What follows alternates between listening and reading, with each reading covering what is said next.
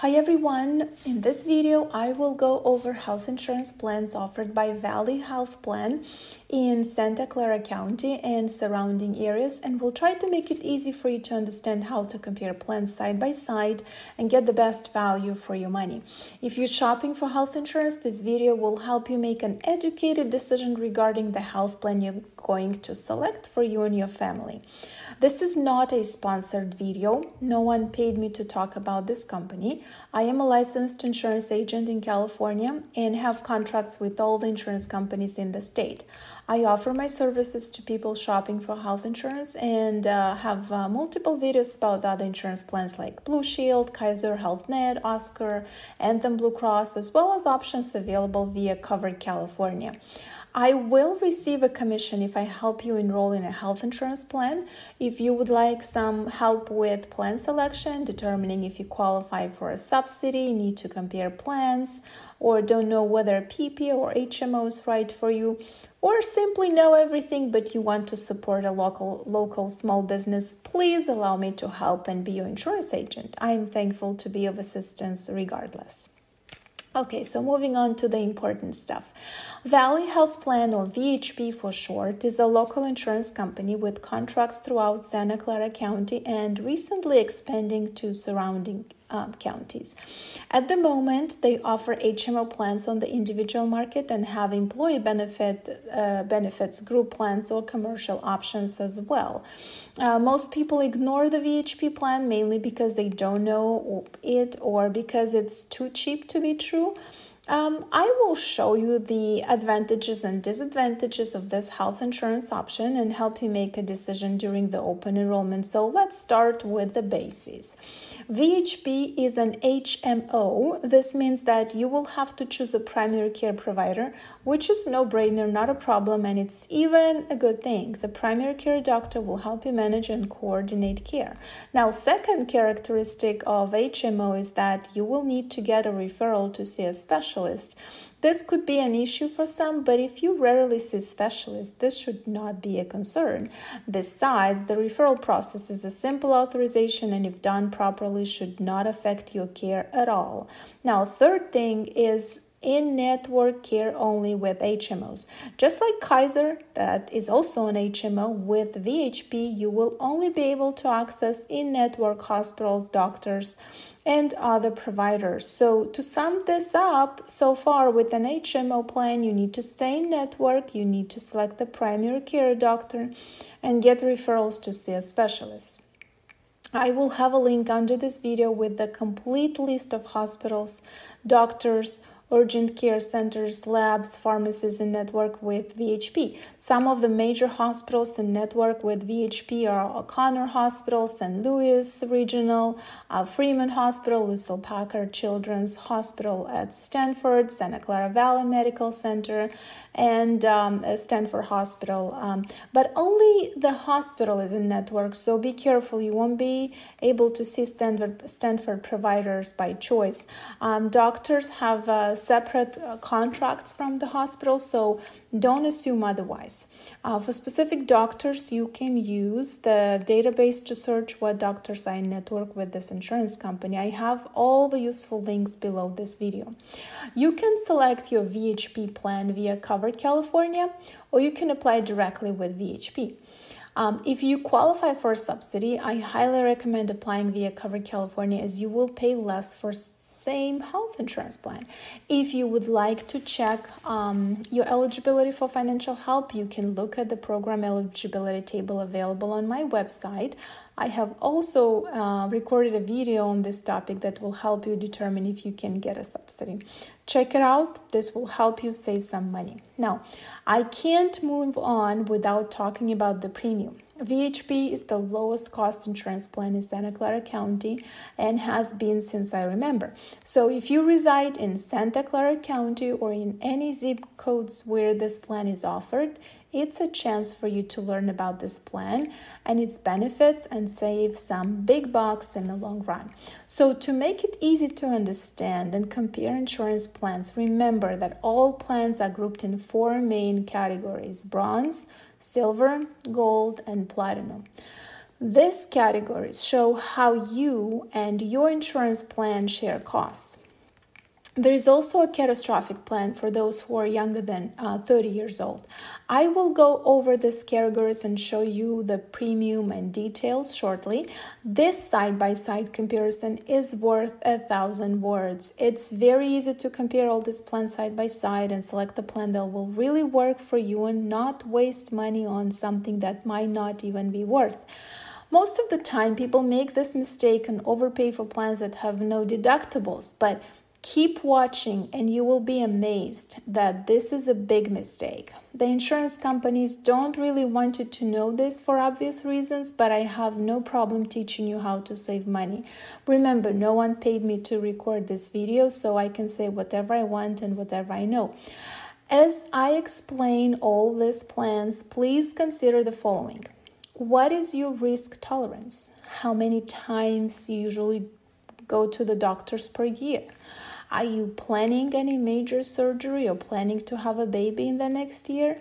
Um, and pay attention to the deductible as it's not as bad as bad as it sounds okay? You will see that soon. So notice that the deductible and the out of pocket is slightly different for all these plans.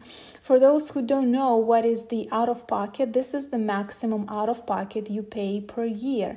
It includes the deductible coinsurance and copays. How soon you pay this out of pocket depends on the plan contract and your risks You'll, uh, I'll give you an example. Bronze plans have a high deductible, but this uh, there are a few things that you can do without getting into the deductible. I will tell you about that in a minute. Before getting into that, I wanted to mention that all these plans have no charge for preventative care. Things like routine physical exam, mammograms, routine prenatal care visits, uh, first po- postpartum visit, and other preventative care is included at no extra cost. Here's the coverage that I mentioned that might um, give you the aha moment, here's something very important to keep in mind.